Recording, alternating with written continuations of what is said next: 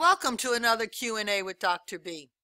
Today's question comes from a student who likes to surf the internet, but is confused about when it's okay to click on a link and when it's not okay to click on a link. The question today is, how do I avoid clicking on malicious links when I'm on the internet?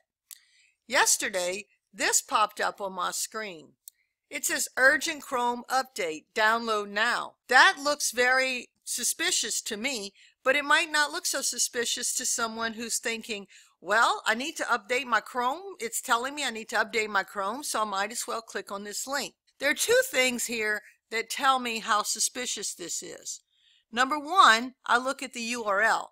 If I look at the URL up here, it says it's from eevixparsipet.com. Chrome wanted you to update Chrome. They're going to send you to google.com, not to this odd website. Also, if you hover over this link, you'll notice down at the bottom in the status bar, it tells you that it's going to download a zip file.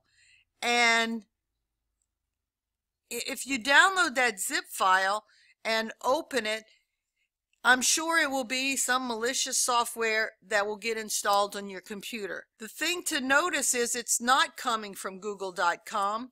It's not coming from Google themselves. It's coming from this odd website. That tells you right there that this is a suspicious link and I would not click on it. So I hope that helps you to know where to look to determine if a link is suspicious or not. Always hover over the link like this until you have the hand pointing to the link and then look down at the status bar and it will show the URL where the link will take you and that will tell you whether or not you should click on the link or not. Here's another example of one of those malicious links that may not seem so malicious at first but it will install things on your computer that are unwanted.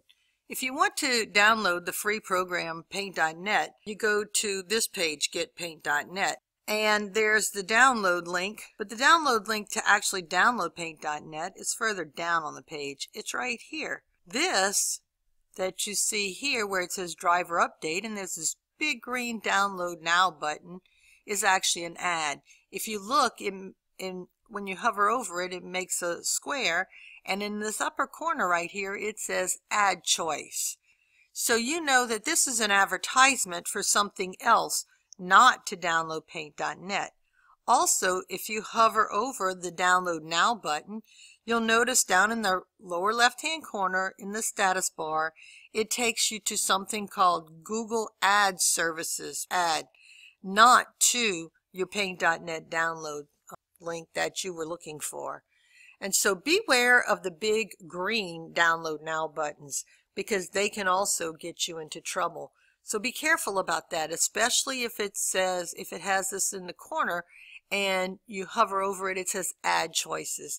That's an ad for some software that you may or may not want to install on your PC because ultimately they will be charging you for something. I hope this helps. Thank you.